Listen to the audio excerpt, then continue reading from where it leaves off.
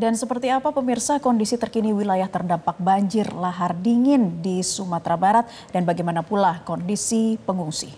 Kita ya, akan kita... tersambung ya dengan Am Fraser, kontributor Metro TV di Kabupaten Agam, Sumatera Barat. Ya. Selamat pagi, Am Fraser. Selamat pagi, Anggi. Ya, baik. Terakhir kita berbicara adalah angka di 37 ya untuk yang korban meninggal dunia. Uh, pagi hari ini berapa sebenarnya perkembangan data dari sana. Kemudian selama tadi malam setelah operasi dihentikan, kemudian pagi ini akan dilanjutkan, uh, apa yang sudah terjadi di sana, Amrezer? Ya, uh, untuk jumlah data korban itu ada peningkatan dari 37 uh, kemarin sampai malam tadi atau dini hari ini sudah menjadi 41 atau 42 korban yang telah ditemukan dalam kondisi meninggal dunia. Nah, penambahan korban itu terjadi di misal di Kabupaten Agam tetap 20 korban yang ditemukan meninggal dunia dan proses pencarian masih dilakukan terhadap tiga korban lagi.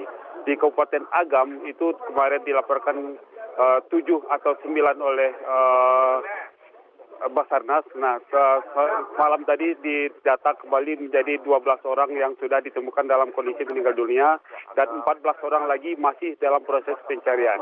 Sementara satu di Padang Panjang dan uh, delapan di Padang Pariaman tidak ada penambahan jumlah korban. Nah, jadi total jumlah korban saat ini di Kabupaten di Sumatera Barat uh, imbas dari banjir lahar ini sudah mencapai 41 orang jiwa dan uh, 17 masih dalam proses pencarian.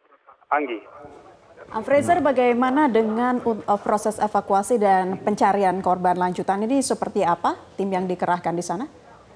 Ya, uh, pagi ini seperti uh, sebagaimana bisa kita lihat uh, sejumlah relawan dari TNI, Polri dan BPBD serta uh, apa KSB Kelompok Siaga Bencana telah menyiapkan diri untuk melakukan proses pencarian terhadap korban yang masih dilaku, apa masih hilang.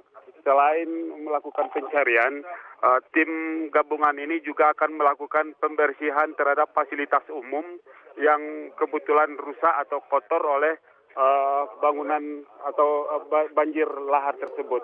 Nah, ini kondisi para uh, tim relawan yang sudah bersiap-siap untuk membagi. Nah, selain bekerja secara manual, tim ini juga memiliki uh, sudah standby tiga unit alat berat ini akan digunakan untuk membersih uh, batu-batu uh, yang dan kayu-kayu yang sangat besar sekali uh, yang terdapat di sepanjang jalan di Bukit Batabuah ini. Mm-hmm. Inilah. Baik, um, Fraser kami akan terus memantau perkembangan situasi dari sana dan untuk sementara terima kasih atas laporan Anda di pagi hari ini. Jelajahi cara baru mendapatkan informasi. Download Metro TV Extend sekarang.